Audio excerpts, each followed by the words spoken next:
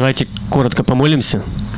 Father, Отец, open our hearts, открой наши сердца, open our spirits, открой наш дух, that we can receive your word, чтобы мы могли принимать Твое Слово, that we can gain understanding into what you want us to see, чтобы мы получили то понимание, чтобы, чтобы мы видели то, что Ты хочешь, that our hearts and our minds would be tuned into you, чтобы наши сердца и наш ум был настроен на Тебя, and that we would experience your presence also during this time. и чтобы мы переживали Твое присутствие в течение этого времени. In the name of Yeshua. Во имя Ишуа. Amen. Аминь. Amen.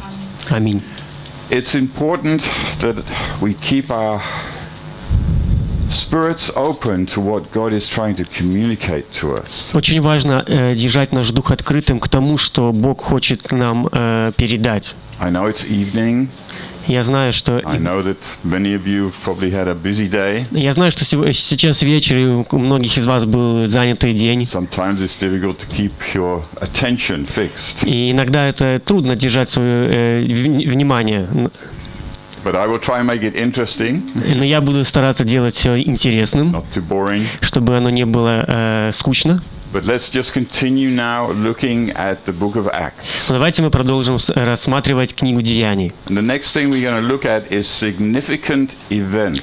И следующее, что мы рассмотрим, это зна- значащие э, события. We're going to look at those events which Luke regarded as significant within the expansion of the belief in Yeshua and the growth of the church. Мы будем рассматривать те события, которые Лука посчитал важным указать э, о э, э, в вопросе э, расширения царства и роста веры. He is showing us the way in which faith in Yeshua spread from being a rural Jewish movement to an international and cosmopolitan faith.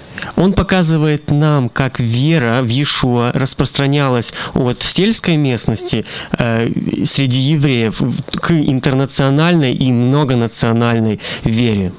So Luke begins with the first great event in the spreading of the gospel. И Лука, он начинает с такого самого великого события распространения Евангелия. Both the Gospel of Luke and Acts record that after Yeshua ascended to heaven, his followers remained in Jerusalem. А Лука в, э, в своем Евангелии книги Деяний э, описывает, что после того, как Иешуа был вознесен на небеса, его ученики остались в Иерусалиме.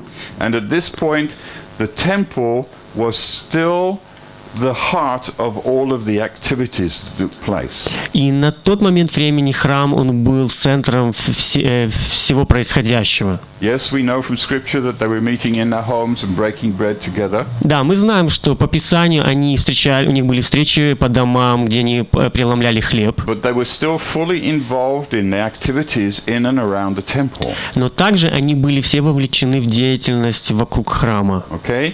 In Luke 24, verse 52, it's recorded this Э, В Луки 24:52 записано следующее. They bowed in worship to him, then returned to Jerusalem, overflowing, overflowing with joy. Э, Луки 24:52. Они поклонились ему и возвратились в Иерусалим с великой радостью. And then in Acts chapter 3, verse 1, it says, One afternoon at 3 o'clock, the hour of mikvah prayers, as Kepha and Yochanan were going into the temple. Э, В Деянии 3.1 написано, Петр и Иоанн шли вместе в храм в час молитвы девятой. They were at this time very much involved still in what was going on.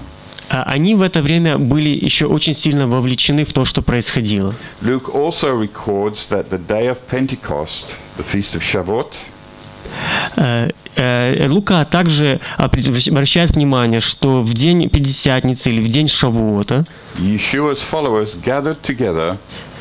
э, последователи Ишуа, они собрались вместе, to be in one place. э, б- чтобы быть в одном месте. Okay, in Acts chapter 2, verse 1. Деяние 2.1. Luke never specified the location of their gathering. Лука, он никогда не определял, не называл место их собрания. Christian tradition came to identify the location for the disciples' gathering on the day of Pentecost Христианская традиция, она определяет место собрания учеников в день Пятидесятницы. as the same place where Yeshua celebrated the Passover meal with his disciples. как то место, где Иешуа э, проводил свой последний э, седер со своими учениками In the upper city of Jerusalem. В верхнем городе Иерусалима, в верхней части Иерусалима. These traditions, however, did not appear until the Byz- Byzantine period in the 5th century. Эта традиция, однако, не э, появляется э, до византийского периода, 5 века э, нашей эры. Luke and Mark describe the location for the Last Supper as a large upper room.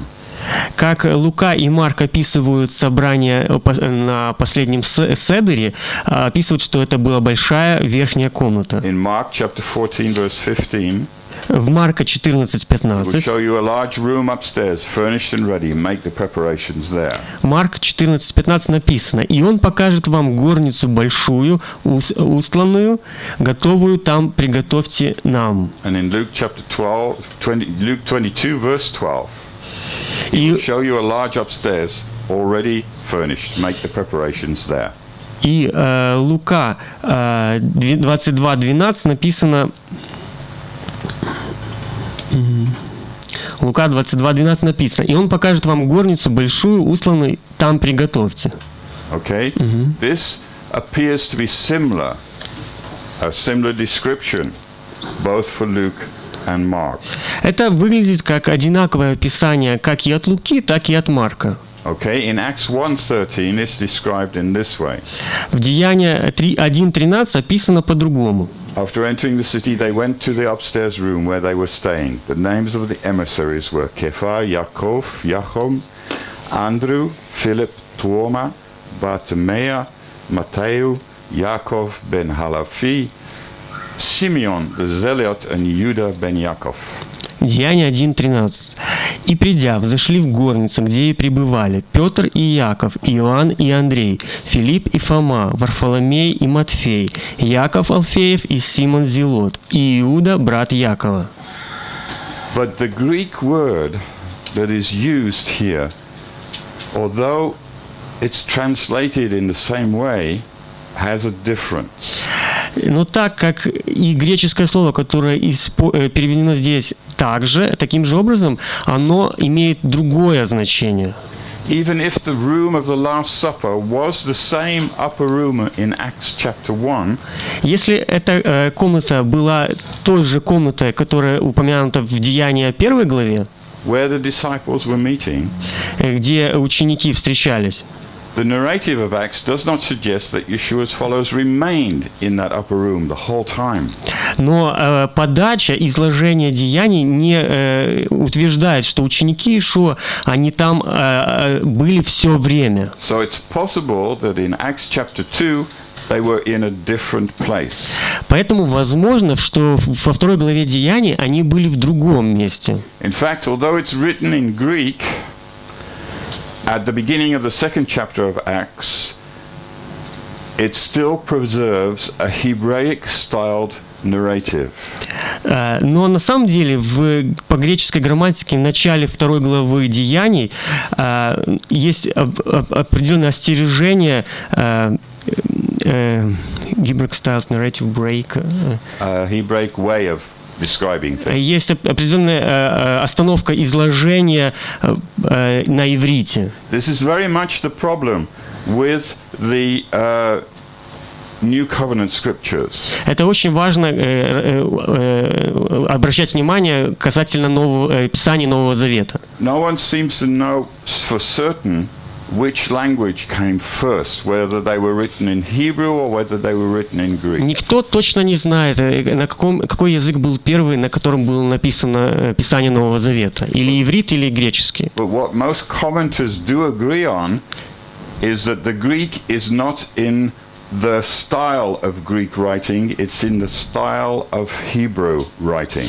Но в том, что соглашаются многие комментаторы, что образ, э, что греческий это не тот стиль, на котором пис, э, язык, на котором писали э, авторы, что это э, просто стиль. So, especially for the Gospels and the book of Acts, it is very probable that these were first written in Hebrew and then. Поэтому особенно, что касается Деяния и Луки, то, скорее всего, они были написаны на иврите, а потом переведены на греческий. So, if you read the Greek with a Greek mindset, you will not understand what it's really trying to communicate. Поэтому, если вы читаете греческий с греческим мышлением, вы, вы в, в точности не поймете, о чем там идет речь. Because it's written within a Hebrew way of thinking. Потому что оно написано с еврейским мышлением. And what I've been doing for the last 20 years is rethinking all of the New Testament or the New Covenant Scripture. И то, что я делаю последних 20 лет, я э, меняю свое мышление о Новом Завете, And trying- пересмысливаю его. And trying to look at it not with a Greek Roman mind way of thinking, И стараюсь э, смотреть, на- рассматривать его не с греческим и римским образом мышления, but how would somebody who was a Hebrew have written this and described it? но так как, э, но так как э, те, которые э, евреи, которые написали это и описали. In many cases, this gives a totally different picture. И во многих случаях мы получаем совсем другую картину. And this is one example that we have here, И здесь один из тех примеров,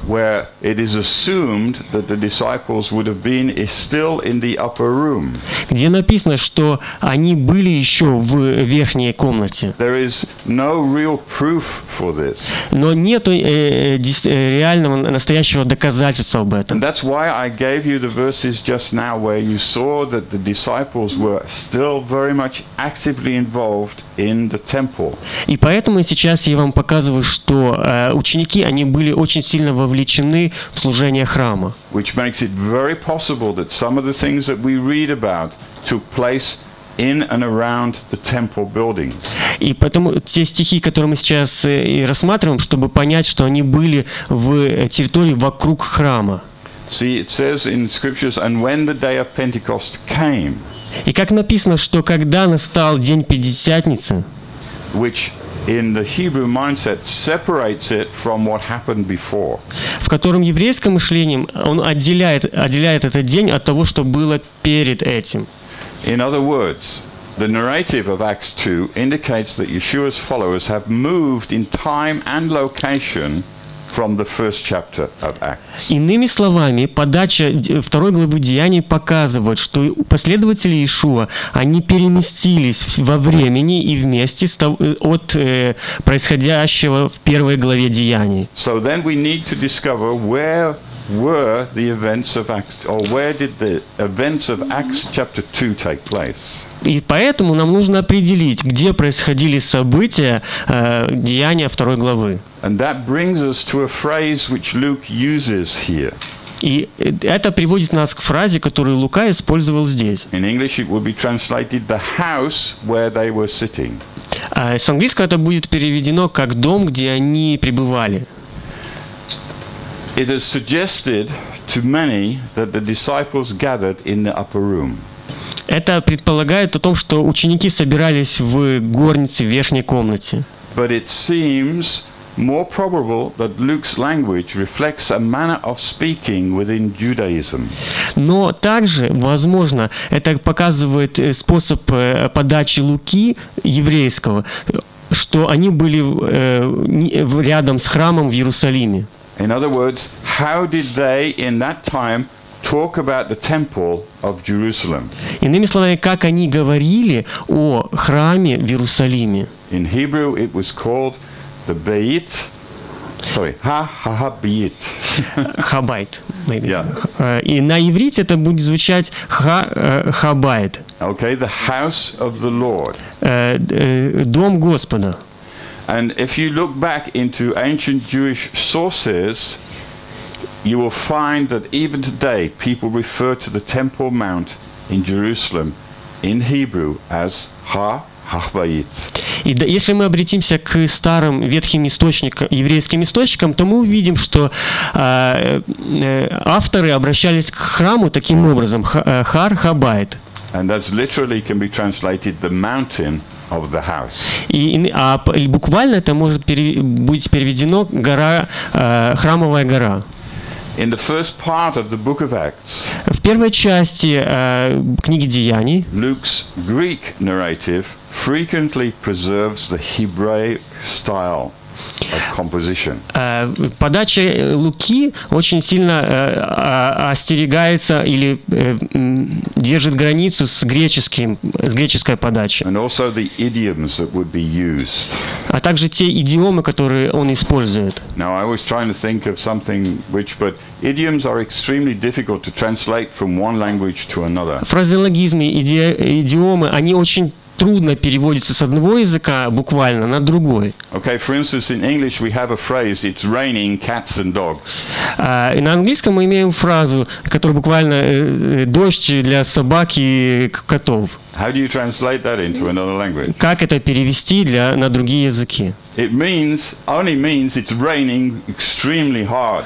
Э, Иными словами, буквально, ну, смысл этого предложения, что очень сильный дождь.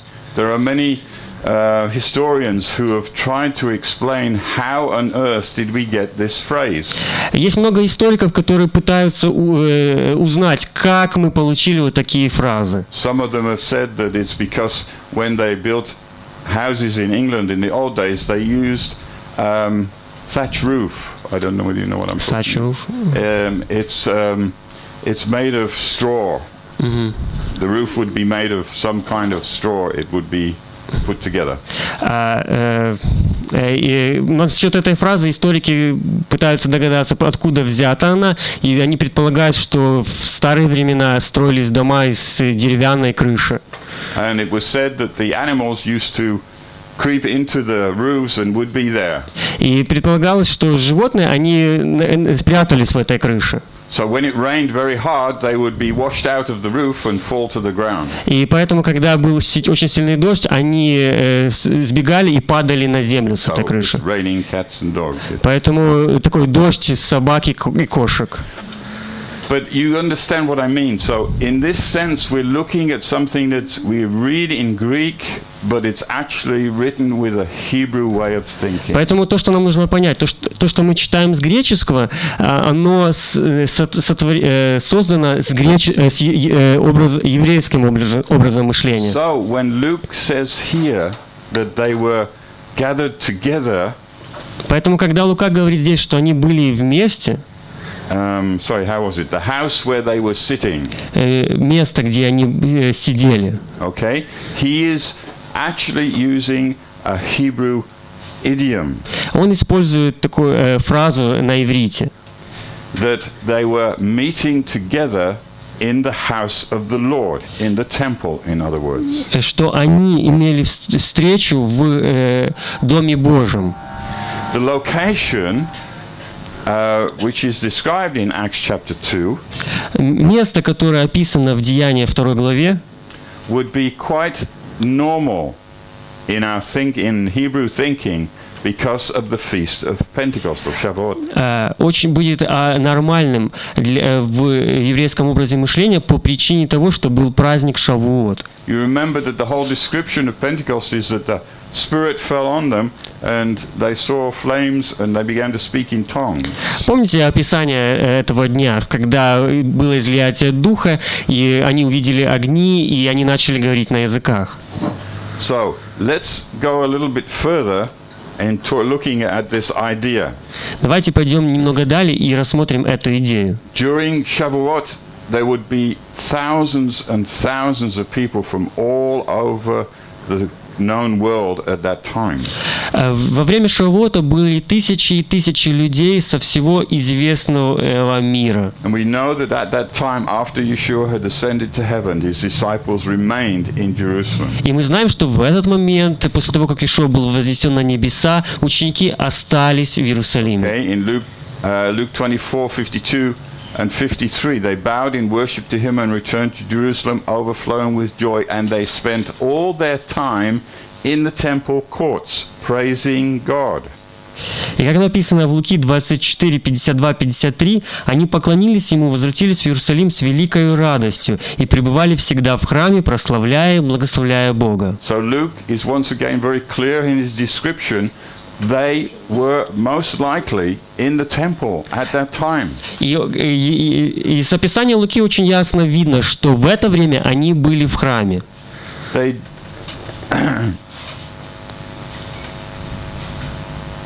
Okay, clearly Yeshua's followers did not interpret any of his actions prior to and including his crucifixion as either rejecting the temple or rendering it obsolete. Ясно, что э, ученики, последователи Ишуа, они не интерпретировали все события, связанные с распятием Ишуа, и как отвержение храмового служения. Okay? It's important that we understand this because this has been one of the biggest problems throughout the history of the church. Это то, что нам очень нужно, важно понимать, потому что это все происходило в истории церкви. Cutting us off from the roots of our faith. И, как- Cutting us off from the roots of our faith. и к- ш- и что может отвести нас от корней веры. And it's taken me a long time to really get back into that way of thinking. И мне пришлось потратить очень много времени, чтобы вернуться к такому образу But we мышления. can see very clearly here from Luke's description, and as I said, Luke is very detailed in И, his description. и мы можем это очень ясно увидеть в описании Луки. Как я уже сказал, Лука, он очень детальный в своем описании. So he's giving us a lot of information. Потому, поэтому, потому что он дает нам очень много информации. Um, I, I have great difficulty when people read the scriptures and they just blow over it. Я имею, пережив- ну, имею сложности, когда вижу людей, которые просто читают описание и в нем плавают. Okay? We need to take it seriously. Нам нужно относиться к нему серьезно. Okay? This, you are students here now. Э, Вот поэтому вы студенты сейчас здесь. Я хочу э, передать вам определен- определенную форму знаний. Но больше всего я хочу передать вам такой путь жизни. And that is to put scripture, reading of scripture, learning to understand it, И это, это изучение Писания, э, чтение его, that it would become the first thing in your life. что- что- чтобы оно стало первой вещью в вашей жизни. Because the scripture gives us the truth. Потому что Писание дает нам истину. It gives us wisdom and understanding. Оно дает нам мудрость и понимание. And it can guide us and lead us in every situation in our life. И оно может провести нас через разные ситуации в нашей жизни. Я также бы хотел бы, чтобы вы не допустили тех ошибок, которые я допустил. But it's probably impossible. Но это возможно, э, скорее всего, невозможно. But as much as is possible, I want to communicate to you a love for His Word Но насколько это возможно, я хочу передать вам вот эту любовь к Его Слову, and that it becomes very important for you. Чтобы, э, чтобы это стало очень важным для вас. So, coming back to our text here, Давайте вернемся обратно к нашему тексту. we should assume then that Yeshua's followers would have participated in this pilgrim feast. Мы также должны понимать, что последователи Ишуа участвовали в этом э, празднике паломничества. Remember, they have all of this foundation and tradition. Помните, а у них всех было вот это основание э, традиции. Э, традиции участвования в, этом, э, в этих праздниках. Shavuot and Sukkot were, were two of the bigger feasts. Э, Шавуот и Суккот были одними из самых больших праздников. These were two of the feasts where every male was required to be in. И эти два праздника были те, на которые все мужчины приходили в, Иерусалим, чтобы поклониться и прославить Господа. Это был первый приоритет. Какой же ваш приори- приоритет? Является ли вашим приоритетом поиск Господа, поклоня- поклонение Ему, ходить, э, хождение Его путями? Или вы более э, сконцентрированы на чем-то другом?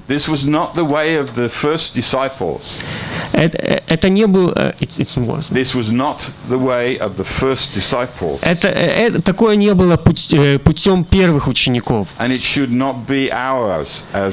И также мы тоже не должны так ходить, э, как ученики. The, ministry of Yeshua. Они получили с первых рук служение Иешуа. Они видели исцеление. Они видели, как люди освобождаются. И это мое учение каждый день. I would hope, I, would, I pray, and I, I plead with God that during this time we could see some healing and we could see someone being set free. Я молюсь об этом и надеюсь, что мы увидим в это время, как кто-то освобождается, исцеляется. Over the years that I've been ministering, I have seen many people healed. Э, В течение многих э, лет моего служения я видел многих людей, которые people set исцеле- free исце- from- исцеленные, которые освобожденные от э, злых духов, от бесов. Я видел человека, который лез по стене, как кошка, потому что он был одержим э, э, демонами. Но я потом его видел, после того, как, мы его, э, э, как э, он был освобожден, он был полностью другим человеком. И теперь он служит в церкви. This is what God can do. Это то, что может сделать Бог. Do you want to see what he can do? Хотите ли вы увидеть то, что Он может сделать? Amen. So let us move in faith. Let us understand Scripture. Давайте будем двигаться по вере и понимать Писание. It was a very important time for them. Э, Для них это было очень ва- важ- важное время. It was a commandment of God. Это была заповедь от Господа. Something that God says you need to do this. То, что Бог им сказал, что вам необходимо это делать. Now, every year, we, uh, as a, my, my family and I, we celebrate these feasts together, and sometimes with many others. Каждый год я и со своей семьей празднуем этот праздник, и часто с другими людьми. Because I believe that it's still important for today. Потому что я верю, что это очень важно даже сегодня. In Deuteronomy 16, verse 16, it says this Э, Во втором законе 16.16 сказано, сказано следующее. Three times a year, all your men are to appear in the presence of Adonai your God in the place which he will choose at the festival of Matzah, the festival of Shavuot, and the festival of Sukkot. They are not to show up before Adonai empty handed. Второзаконие 16.16. Три раза в году весь мужской пол должен являться пред лицо Господа, Бога твоего, на место, которое изберет Он, в праздник опресноков, в праздник седмицы, в праздник кущей. И никто не должен являться пред лицо Господа с пустыми руками. In that time, they were to bring offerings to the Lord. В это время они приносили э, э, жертв- пожертвования Господу. There is only one offer that we need to bring today. Есть только одно пожертв- одна жертва, которую мы должны приносить сегодня. As Paul said it in Romans. Как Павел сказал об этом в Римлянам, к посланию к Римлянам. Представьте свой, э, свое тело как живой храм, живую жертву.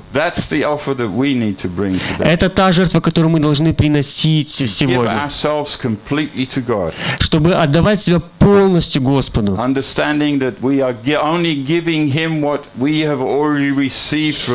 Э, Такое понимание, что мы Ему отдаем все, что от Него получили.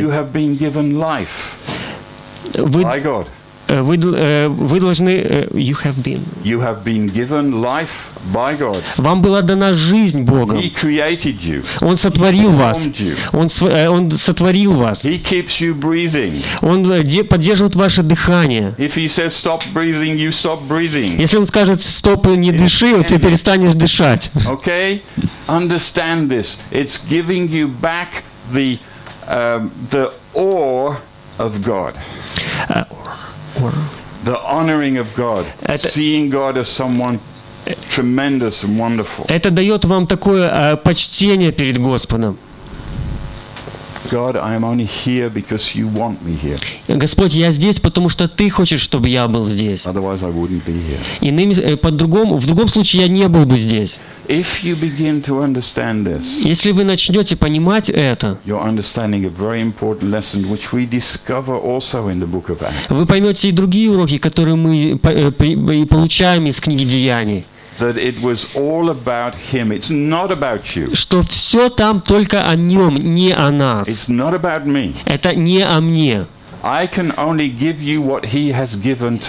Я могу дать только то, что Он мне дал. No more, no less. Ни более, ни менее. I am not holier. I am not better. I am not.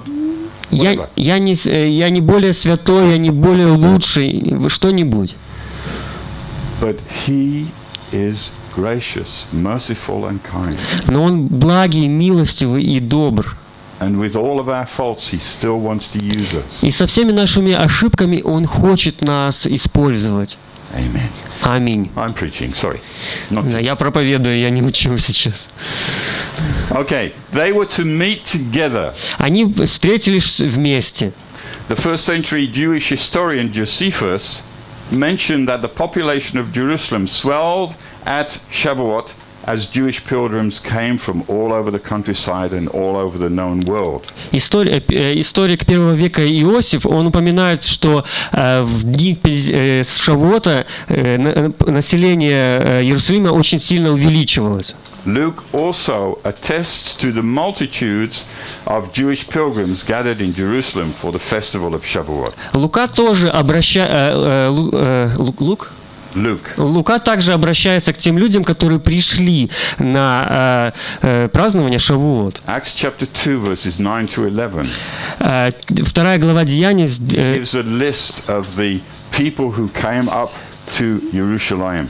Э, Вторая глава Деяний с 9 по 11 стих, он дает нам список э, народ, э, людей, которые пришли на в Иерусалим на праздник. Okay, Luke. Uh, sorry, Acts chapter 2, verses 9 to 11. Э, Деяния 2, де- э, с 9 по 11 стих. Okay, if you can just read that in Russian. Написано, парфяне и медяне, и эламиты, и жители Месопотамии, иудеи и Каппадокии, Понта и Асии, Фригии и Памфилии, Египта и части, частей Ливии, прилежащих к Киринее и пришедшие из Рима иудеи и прозелиты, э, и критяне, и аравитяне, слышим их нашими языками, говорящих о великих делах Божьих. Никто точно не знает, сколько людей приходили на такой праздник. Millions. Это могли быть даже миллионы. But they came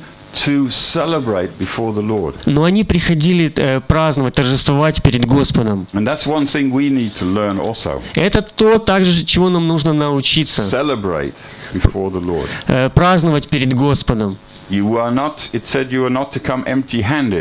И сказано, что они не прих- чтобы ты не приходил с пустыми руками. А И это было время, когда э, много ш- давали, э, давалось бедным. Это также нам напоминает, что мы должны быть щедрыми. Okay? But also, as I said, the real offer that we can bring is that of ourselves. И как я уже сказал, что э, настоящая жертва, которую можем принести, это мы сами. And it is at this moment in time that the Holy Spirit came upon the disciples. И в этот момент времени э, Дух Святой, Он сошел на учеников. Now, there are many now who would think that they were gathered in what is known as Solomon's porch. Э, Есть те, кто считает, что они были собраны в, э, в дворе Соломона. Yeah? This was on the eastern side of the Temple Mount. Это было э, на э, с- э, э, восточной стороне храмовой горы. And it was a large covered area, pillars of marble and a roof of wood. Э, И там была достаточно большая территория э, с, дерев- с деревьями. And it was the meeting place where people would come to discuss, to uh, talk about various aspects of faith. И это, это было место встречи, где э, многие люди приходили, чтобы иметь общение. So it would be quite logical to assume that because the disciples wanted to share about Yeshua, И это было очень э, логично понять, что если ученики хотели поделиться о Иешуа, that they would very probably have been in this place. что они, скорее всего, были в этом месте. And because it was the festival, И по той причине, что это был праздник, there would have been all of these crowds of pilgrims from all of these different и places. там были эти э, э, толпы людей с разных э, народностей. And these crowds of Jewish pilgrims heard the disciples speaking in their own language. И эти люди с разных народностей, они услышали учеников, говорящих на разных языках. Acts chapter 2, verses 4 to 8. Деяние 2 глава с 4 по 8 стих. And they were amazed. И они были удивлены. Okay? 2, 4 to 8. Мгм. Деяние 2 глава с 4 по 8 стих. «И исполнились все Духа Святого, и начали говорить на иных языках, как Дух давал им провещевать. В Иерусалиме же находились иудеи, люди набожные, из всякого рода под небесами. Когда сделался этот шум, собрался народ и пришел в смятение, ибо каждый слышал их говорящими его наречием. И все изумлялись и дивились, говоря между собой, «Сии говорящие не все ли галилеяне? Как же мы слышим каждый собственное наречие, в котором родились?» In response to their amazement, Peter stood and addressed the crowd.